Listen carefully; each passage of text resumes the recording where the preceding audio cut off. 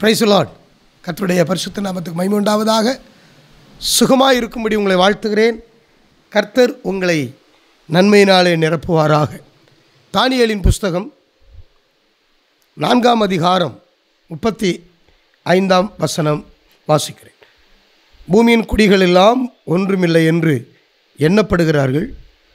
அவர் தமது சித்தத்தின்படியே வானத்தின் சேனையையும் பூமியின் குடிகளையும் நடத்துகிறார்.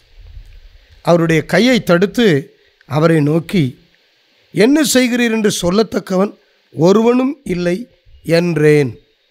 கத்துடைய நாமம் மைமைப்படுவதாக இந்த வார்த்தையை நேபுகாத் நேச்சார் என்ற பாபிலோனிய ராஜா தேவனுடைய ஞானத்தை அடைந்தவனாய் பேசுகிறான் பாருங்கள் அவன் ஒரு சொப்பனம் காண்கிறான்.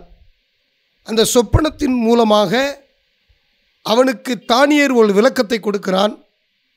தானியல் அந்த சொக்கன சொப்பனத்திற்கு என்ன அர்த்தம் சொன்னானோ அது அப்படியே நடந்தது. அதன் பின்பு தானியல் சொப்பனத்தில் சொன்ன அந்த அர்த்தத்துக்கு ஏற்றபடி இவன் தன்னை மாற்றிக்கொள்கிறான் என்ன இந்த சொப்பனம்? ராஜா தனவந்தனான ஒரு பெரிய ராஜா வல்லமையுள்ள ராஜா அவனுக்கு ஈடாக ஒருவனும் கிடையாது. ஏறக்குறைய இருபது வயதிலெல்லாம் அவன் ராஜ்யபாரத்துக்கு வருகிறான். கிட்டத்தட்ட அவனுடைய ராஜ்யத்தின் முக்கால் பங்கு தேசத்தை அவன் முக்கால் பங்கு பகுதியை அவன் பிடித்து விட்டான். யூதாவை அவன் முற்றுகையிட்டிருக்கும் பொழுதுதான் திடீரென்று அவருடைய தகப்பனார் மறித்து போனார் என்ற செய்தி வந்தவுடனே இவன் போய் ராஜாவாக முடிசூட்டி கொள்கிறான் தன்னை. சின்ன வயதில் அவ்வளவு பெரிய காரியத்தை செய்த இந்த நேப்பு காத்து நேச்சாரை தேவன் என் தாசன் என்று சொன்னார். கத்திற்கு ஸ்தோத்திரம். அதாவது யூதர்கள் தேவனுக்கு விரோதமாய் பாவம் செய்தபோது விக்கிரக ஆராதனை செய்து தேவனுக்கு கோபம் ஊட்டின போது இந்த யூதர்களை திருத்துவதற்காகவும் கண்டிப்பதற்காகவும் நேபுகாத்து நேச்சாரை தெரிந்து கொண்டு ஒரு அந்நியனை என் தாசன் என்று சொல்லி பெயரிட்டார். தேவ பிள்ளைகளாகி நாம் ஒரு காரியத்தை அறிந்து கொள்ள வேண்டும். நாம் தவறு செய்யும் பொழுது நாம் குற்றம் செய்யும் பொழுது ஆண்டவர் நம்மை கண்டிக்கிறார். வேத வசனத்தை கொண்டு சொப்பனத்தை கொண்டு தரிசனத்தை கொண்டு கண்டிக்கிறார். உபதேசிக்கிறார் சிக்ஷிக்கிறார். சில பாடுகளை அனுமதிக்கிறார். நம்ம சில நேரத்தில் எதையுமே கண்டுக்கிறதில்ல. கடைசியாக என்ன செய்கிறார் என்றால் அந்நியர் வசமாய் நம்மை ஒப்பு கொடுத்து நம்மை திருத்துவதற்காக மற்றவர்களை பயன்படுத்துகிறார். அப்படித்தான் இந்த யூதர்கள் சிறைப்பிடிக்கப்பட்டு பாபிலோனுக்கு போனார்கள். ஆனால் அங்கே இந்த ராஜாவினுடைய ராஜ்யபாரம் ஸ்திரப்பட்டு எனக்கு ஈடாய் ஒருவனும் இல்லை என்று நினைத்து பெருமை கொண்டபோதோ தேவன் அவனை கண்டித்து ராஜாதிபத்தியத்திலிருந்து அவனை கீழே தள்ளி அவனை ஒரு மிருகம் போல மாற்றினார். அப்படி ஒரு சொப்பனம் கிடைத்தது. அதுக்கு தானியல் சொன்ன அர்த்தம் அதுதான். நீர் மாட்டைப் போல புல்லை தின்பீர். பெருங்கழுகின் செட்டைகள் உனக்கு முளைக்கும். நீ பேசுனது பெருமையில் பேசுனதுனால புத்தி இல்லாமல் நீ நடந்துட்ட.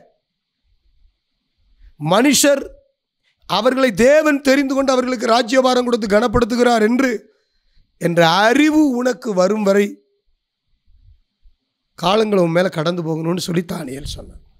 இதுலேருந்து என்ன தெரிகிறது என்றால் நம்மை ஆண்டவர் பயன்படுத்துகிறார் நல்லதுதான்.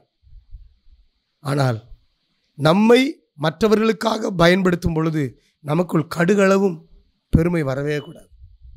தேவனுடைய கிருபை இல்லாமல் தேவனுடைய அழைப்பு இல்லாமல் தேவனுடைய தெரிந்து கொள்ளுதல் இல்லாமல் நம்மால் ஒன்றுமே செய்ய முடியாது. இவனுடைய பெருமையை ஆண்டவர் அழைப்பதற்கு சொப்பனத்தை கொடுத்து ராஜாதிபத்தியத்தின் தள்ளி மனுஷர்கள் மேல் தேவனே ஆளுகை ஏற்படுத்துகிறார். எவன் மேல் சித்தமாக இருக்கிறான் அவனை ஆளுகை செய்ய வைக்கிறார். எவன் மேல் சித்தம் இல்லையோ அவனை ஆளுகை விட்டு தள்ளுகிறார் என்பதை இந்த நேபுகாத்து நேச்சார் உணரும் வரை அவன் மேல் தேவனுடைய தண்டனை வந்தது. அன்புக்குரியவர்களே நாம் எப்படிப்பட்ட பதவியில் உயர்வில் மேன்மையில் மற்றவர்களை காட்டிலும் சிறப்பாக இருந்தாலும் அநேகரை மேற்கொள்வதற்கும் கண்டிப்பதற்கும் தண்டிப்பதற்கும் அதிகாரத்தை நமக்கு கொடுத்திருந்தாலும் கூட நாம் பெருமை கொள்ள வழியே இல்லை. ஏனென்றால் இந்த கிருபையை தேவன்தான் நமக்கு கொடுக்கிறார். ஊழியக்காரன் ஆனாலும் விசுவாசிகள் ஆனாலும் அதிகாரிகள் ஆனாலும் அதிகாரங்களில் உள்ளவர்கள் ஆனாலும் தேவனுக்கு முன்பாக தன்னை தாழ்த்த வேண்டும் என்பதை கற்றுக் கொடுக்கிறது இந்த வசனம். ஆண்டவருடைய கையை நீட்டி நீர் என்னையா செய்கிறீர்? நீர் எப்படி இப்படி செய்யலாம்? என்று சொல்லத்தக்கவன் ஒருவனும் இல்லை. அப்படியானால் என்ன வழி? நம்மை தாழ்த்தி ஆண்டவரை கீழ்ப்படுகிறது தவிர வேறு வழி இல்லை. நம்மையும் ஒப்புக் கொடுப்போம். தேவன் நம்மை ஆசிர்வதிக்கும் பொழுது நாம் ஒருபோதும் பெருமை கொள்ளக்கூடாது. மற்றவர்களை குறித்து அற்பமாக எண்ணக்கூடாது. ஏதோ நம்முடைய திறமையினால் இதை பெற்றுக்கொண்டோம் என்று எண்ணாமல் தேவனுடைய கிருபையை சார்ந்து கொள்ள தேவன் நமக்கு உதவி செய்வாராக. ஜெபிப்போமா? அன்புள்ள தேவனே நாங்கள் உம்மால் உயர்த்தப்படும் பொழுது உம்மால் கனப்படுத்தப்படும் பொழுது பெருமை கொள்ளாமல் மிகுந்த மனத்தாழ்மையோடு நாங்கள் எங்களை காத்துக்கொள்ள உமக்கு கீழ்ப்படிந்து அர்ப்பணிக்க எங்களுக்கு கிருபைத்தார் இயேசுவின் நாமத்தில் பிதாவே அமேன்